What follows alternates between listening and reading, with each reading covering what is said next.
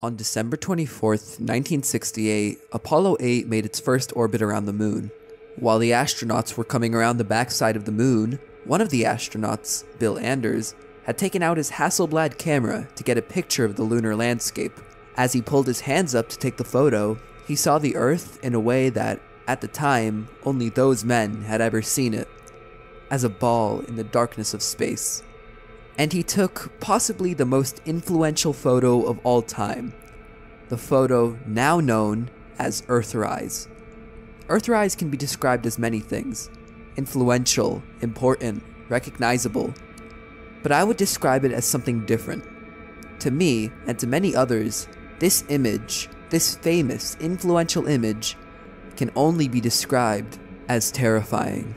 The blackness of space around the Earth, the visible meteorite craters in the moon, the simple fact that that tiny ball surrounded by the eternity of the cosmos is all of us, are just some of what makes this image absolutely petrifying to me. The fear I feel about this image and images like it is a fear that I'm not alone in.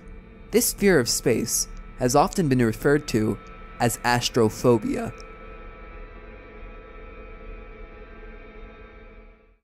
Astrophobia is the fear of space and the celestial bodies that inhabit it. I've covered other fears on this channel, but unlike those other videos, I can confidently say that I have astrophobia.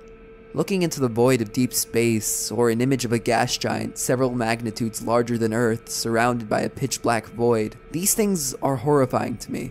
And I'm clearly not alone. With videos on astrophobia getting millions of views and us knowing more and more about the cosmos every year, this fear of space is something that many people can relate to.